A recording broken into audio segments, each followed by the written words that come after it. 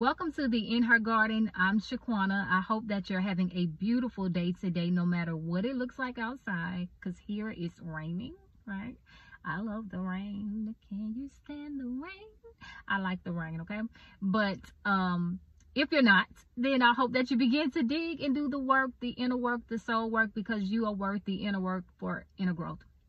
Now, this word is coming from my devotional time this day, this morning, actually. And I just want to help you, if you will, in encouraging you that if you're not where you, where God said that you are, right? Where God said that He wants to place you, but you're not where you used to be either. And so you're right in the middle, you're right in the thick of it, if you will, in transition. And I hope that this encourages you. And it's coming as I stated before, if you haven't watched any prior videos before this one, or previous videos before this one, I actually was talking or discussing or sharing with you about where I am in my devotions, and it's in the book of Numbers. Listen, I just have to say this that time is flying by so fast because I, let me see, I started reading and studying the book of Numbers um in the month of February and we are already in March and at the beginning of March actually. So I'm almost done right? So I just want to say that that by the time you look up as well time would have been sped up or just you know passed so quickly. So it's important for you to stay focused. That's it. Just stay focused right? Because by the time you look up you've been you know finish something right? And so that's a word and i'm gonna receive it in the name of jesus right? Just to stay focused. But the word that came to me is the cleaning comes before the springing. The cleaning comes before the springing because in the book of Numbers, before they're crossing over into the Jordan, they have to like rest, if you will, or just take a census and an account for the people that they now have with them because they no longer have the same people. The old generation has passed on because God killed them. Okay, God let them die in the wilderness, and then there was some leaders that was smelling themselves, as the old people say. Okay, you smelling yourself, you think you are that, and so they came and they contended against their very leaders, Moses and Aaron at that time. And then it was some other leaders that rose up. And I want to give you their names. Uh, their names are, hold on. Their names are specifically Dathan and Ibram. Ibram. I believe, Ibram, Dathan and Ibram. These were two leaders um, who came against Moses and Aaron as well, complaining about them not being able to eat certain things and then them being in the wilderness. And that was the process that God had them go through. And that may be something that you may be familiar with in your own life. I know I have been.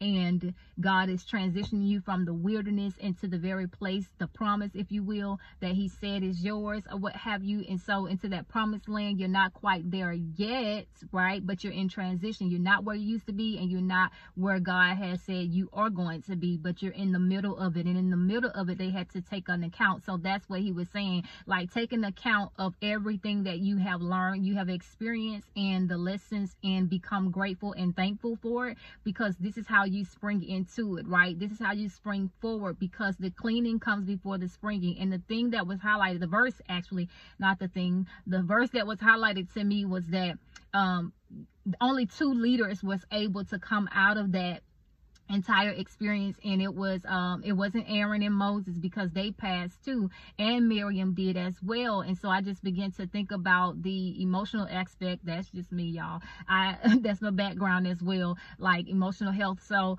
when it comes to um Aaron and Moses how they had to mourn the loss of their sister and then Aaron as well and the people and Moses had to uh, mourn the loss of their brother and their leader. And then eventually Moses passed as well and passed the baton. And only two people were able to go through and go forward which was Joshua and Caleb because they went out to the land to spy it or what have you and came back with a good report and with all this faith. And so that's the process as well that when you go before you go into the promise of what have you it's very important for you to take an account take a census of yeah your mindset take a census take taking account of how you see things, how you um, engage with others, or how you connect with others, because that's very important as well. So it's important for you to take a census, take an account for how you are even now, who you are even now. That's very important. And it's it's imperative during this time before you actually go into the manifestation if you will of everything that God has promised you and do not complain okay? I won't complain like don't complain okay? I won't don't complain okay?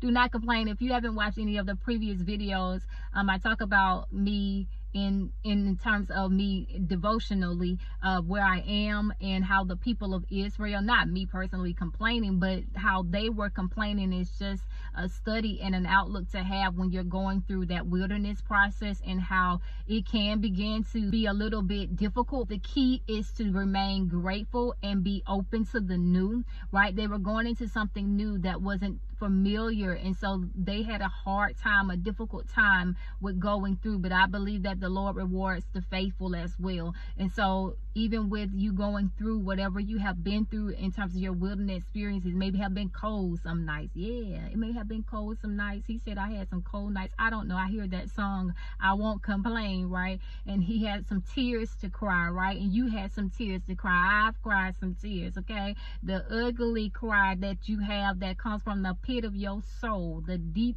ugly cry that leaves you in a fetal position. Yeah those cries.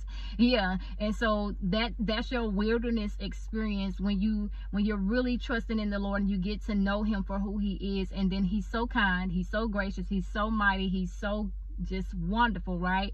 That he'll even begin to allow you when you are in those valleys, he will even begin to allow you to see who you really are in his eyes, right? And hold that up before you in terms of, no, this is who you really are and this is where I'm taking you. So I don't want you to just be like, well, you don't know where you're going. It's okay at, at first it's okay he's going to show you step by step faith it's a faith walk if you will and sometimes he's not. He's just going to ask you to take his hand and continue to lead you and guide you and you to continue to go forward. But at the same time he will give you a vision. He will give you a promise. He will give you a word and you just step out and you go off on that word right? You step out and you hold his hand and you walk with him daily and keep him near to you.